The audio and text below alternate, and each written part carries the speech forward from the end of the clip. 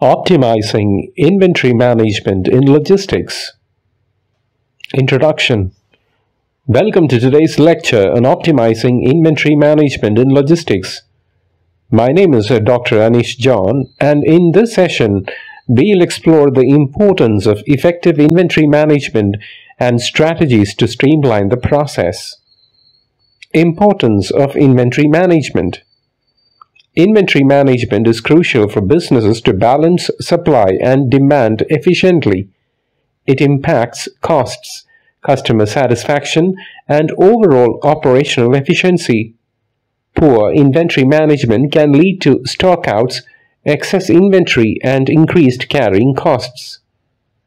Inventory classification one method to optimize inventory management is through ABC analysis, which categorizes items based on their value and importance. A items are high value, B items are medium value, and C items are low value. This helps prioritize resources and attention.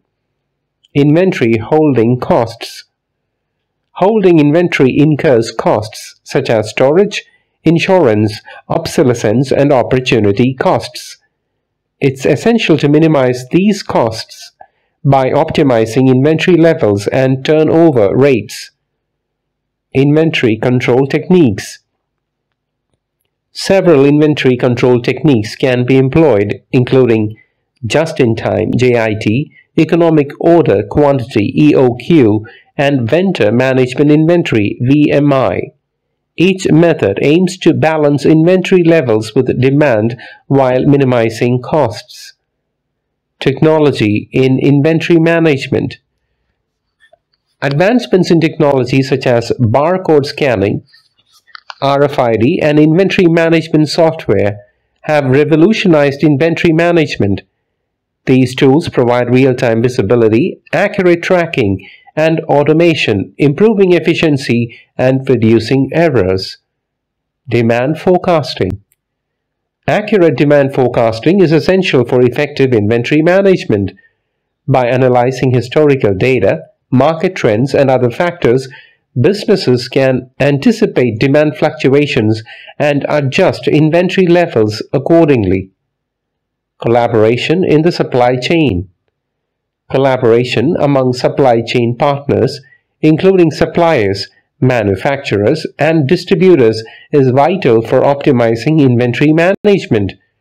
Sharing information and coordinating activities help reduce lead times, minimize stockouts, and improve overall efficiency.